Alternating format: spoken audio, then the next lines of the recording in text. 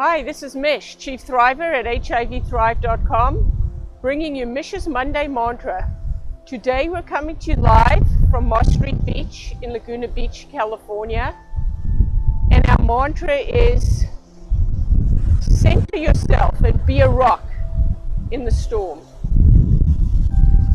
As we enjoy these stormy seas, just like in our life, if we can center ourselves and know where we're going, who we are, and what we are, we can center ourselves and be a rock no matter what storms envelop us or blow over us. We can stay centered and be the rock.